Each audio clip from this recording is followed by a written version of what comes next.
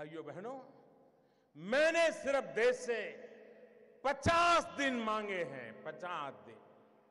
30 दिसंबर तक मुझे मौका दीजिए मेरे भाइयों बहनों। अगर 30 दिसंबर के बाद कोई मेरी कमी रह जाए, कोई मेरी गलती निकल जाए, कोई मेरा गलत इरादा निकल जाए, आप जिस चौराहे में मुझे खड़ा करेंगे, मैं खड़ा होकर के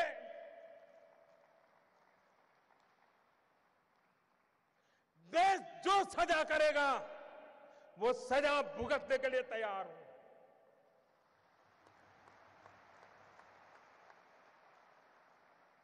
लेकिन मेरे देशवासी, दुनिया आगे बढ़ रही है। भारत की यह बीमारी देश को तबाह कर रही है। 800 मिलियन पैंसठ प्रतिशत पैंतीस से कम उम्र वाले नौजवान उनका भविष्य दांव पर लगा है।